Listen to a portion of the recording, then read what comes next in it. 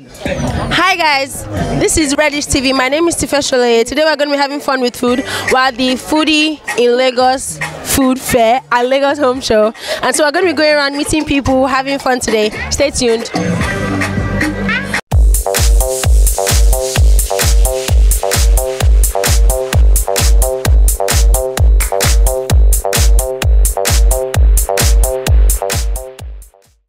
I want to ask you what your comfort food is. Like when you're upset, when you're hurt, when you're depressed, what do you eat? Actually, that's what I'm eating right now. I'm a little tired. Um, I cooked for about 150 people last night.